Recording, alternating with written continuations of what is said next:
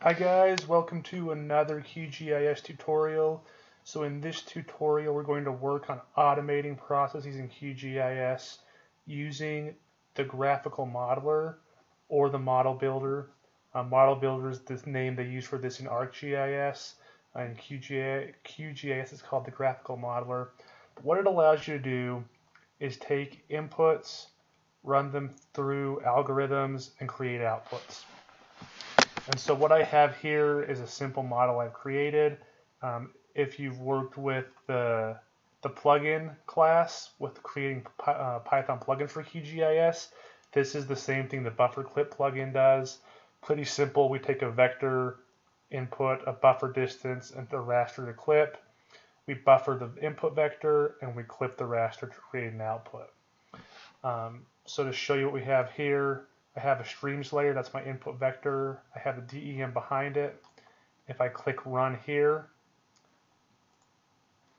it's going to bring up this buffer distance and I'm going to say I want to do 50 meters. The raster to clip is going to be the DEM. The input is the stream order. I'll save to a temp file. I'll click run. It's going to take just a sec to go here. You can see it added an output. I'll click close. I'll trim this DEM off and you can see now this output is within 50 meters of streams. So that's the plugin we're working with today. Um, we're going to walk through exactly how to do that right now. So let's go ahead and get started. I'll turn these layers back on. And I'm just going to go ahead and close out of this processing plugin so we can start from start fresh.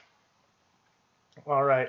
So to open the graphical modeler, what we're going to do is we're going to come to the Processing tab, and we're going to open Graphical Modeler. And that brings up um, this Processing Modeler here, which allows us to access algorithms and inputs. Okay, so I'm just going to put buffer clip as my name, and I'm going to put test as the group. And let's just take a look at some things here. So if you hover over these, um, you can see the different options. This will save the model in the project. You can um, this button here will allow you to export as a Python script, export an image um, of your model, a PDF, or an SVG. Um, you can make model documentation here, and this is where you run your model. Okay, so simple enough. Well, let's go ahead and get started. Um, you'll notice there are two tabs here. There's an Inputs tab and an Algorithms tab. The algorithms are going to have the operations you can perform on your inputs. So let's start out with the inputs. Now for this, I'm going to need three inputs. I'm going to need first the vector layer, and this is going to be my input layer. Um, that's going to get buffered, then clipped. Um, because it's going to be buffered, we do need to have a geometry, but we can have any geometry type and we need this to be mandatory. So we'll click OK, and that adds an input vector layer. The other thing I need is I'm going to need a number, and this number is going to be the buffer distance. So let's go ahead and put in a number. And this is going to be buffer distance, and that's going to be in map units. Just make a note there. We don't need to have any min or max here. We'll just click OK. Another thing we could try is we have this distance one here, right? And so we could do the same thing and it could have a value there. I'm going to just click cancel on this. We'll just use a number for this one for now. Okay, and now I need a raster layer. And we'll just name this raster to clip. All right.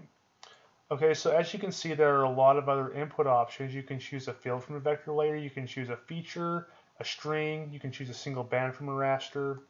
There are a lot of different inputs you can use here. You can use a Boolean value, which will just be a checkbox. You can specify a coordinate reference system. So that you have a lot of options and a lot of power in this. Okay, so once I have my inputs laid out, now I want to focus on the algorithms I'm going to use. And so I can come down to algorithms to the algorithms tab here and this will switch me over to all the algorithms available in QGIS. Now, the first thing I want to do is buffer my input. So I'm going to type in buffer, and I have a QGIS thing here. I have a lot of different um, options for for buffers here. We're just going to use this basic buffer tool. I'm going to pull that in. I have my input vector layer set as the input. If you don't, you can drop this down and choose something else. It should be automatic. Now here the death distance is set to a number, but I want to have this as an input parameter. So let's click on this thing over here where it says value and change this to model input. And as you can see, it automatically selects buffer distance. Okay, so we're good to go there.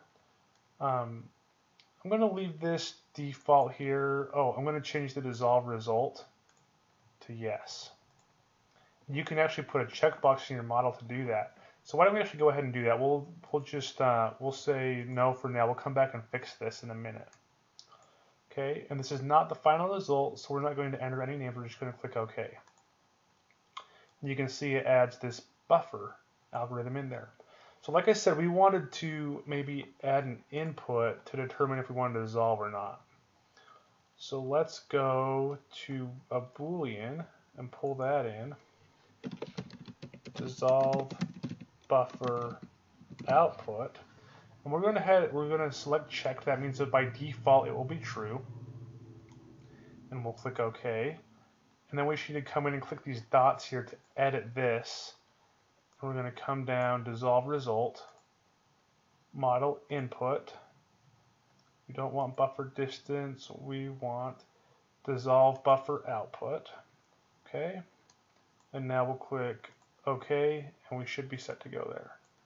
So we'll just drag these over, kind of group these things all together here, make them look nice. Okay, now that we have our buffer that's going to be created, the next thing we need to do is we just need to clip that clip the raster with the buffer. So we'll come back down to the algorithms tab here and now I need to look for a clip tool. Okay. And this is going to be a vector. Um, it's going to be extract clip by extent. This one might work. But I know this one works. Clip raster by mask layer, the GDAL raster extraction. So I'm going to go ahead, excuse me, and pull that one in. Okay, so my input layer is the raster to clip. My mask layer is the input vector layer, so we're set there. I can leave defaults for most of this. And I'm going to say keep the resolution of the input raster. I'm going to say yes. So that'll give me the same cell resolution. All right. And this is my final output. So I am going to just name this uh, clipped raster output. And I also want to select the parent algorithm here. So what this parent algorithm does, um, it lets this algorithm know which other algorithms need to finish or which algorithm needs to finish before it can run. And so we need to make sure that buffer is done before this runs, otherwise it won't work. Okay, so now we've selected that and we can click OK. And here is our clipped raster output. I'll just pull this over here a little bit. Okay. Oh, and so see what see what's happened here. We have an input vector layer that's going into this, and we only need the buffer to go into that. So let's go and fix that. Click on the dots. So our mask layer is going to be buffered from algorithm buffer. That's what we want. Okay. And let's click OK. Uh, better. Now we only have the buffer going into that, which is what we want. Okay, so we've got that there, got that there. We'll just drag this out so we can arrange these things a little bit so they're nice. Okay, so there's our model. Now we can go ahead and click run and see if this thing works. See if this thing works. we want to dissolve the buffer output. We're gonna make our buffer distance. We'll make it oh Let's do 50 meters again. Okay, stream orders are input. DEM is our input raster. And we'll just save it to a temp file and let's click run. And we can click close. And we can, oh, keep that one on. Let's turn DEM off. And there you go. You can see that within 50 meters, we've, we've kept the raster only within 50 meters. And so we successfully run that. Okay, good deal. Let's open that back up. I'm just clicking on the tab on the bottom of my toolbar. And let's go ahead and we'll just click Save Model. And then we can choose a spot to save it, and that will allow us to load this processing model up in the future. I'm not actually going to save it here because this is something that I already made a plugin for, and it's a pretty simple thing. But we did this simple just to illustrate to you how you can do this on your own. Um, you can get these things pretty complicated um, to really make some use out of the automation. So I hope you enjoy this video. I hope it's helpful for understanding how to use the graphical modeler or model builder. If you have any questions, please let me know. And if you want me to work out a more advanced example, please let me know and maybe give me some ideas and we can see about doing that in the future. As always, thank you so much for watching. Um, always glad to hear your questions and hope you guys have a great day.